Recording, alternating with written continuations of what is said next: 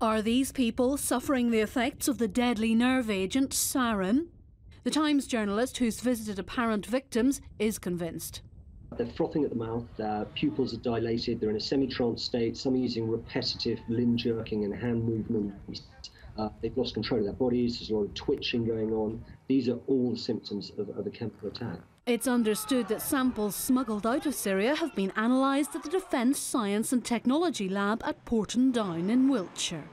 This is extremely serious, and I think what President Obama said was absolutely right, that this should form for the international community a, red line uh, for, for us to do more. Now, I've always been keen for us to do more. We're working with the opposition. We want our allies and partners to do more with us, to shape that opposition, to make sure we're supporting people with good motives who want a good outcome, to put pressure on that regime so that we can bring it to an end. There are widespread calls for President Assad to allow United Nations inspectors to carry out a full investigation.